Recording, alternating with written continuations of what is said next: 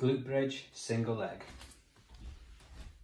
Onto your back, heels as close to your bottom as possible, hands down by your side, extend one leg out, ready and raise, and back down.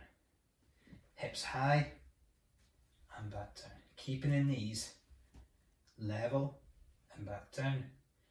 Keep the hips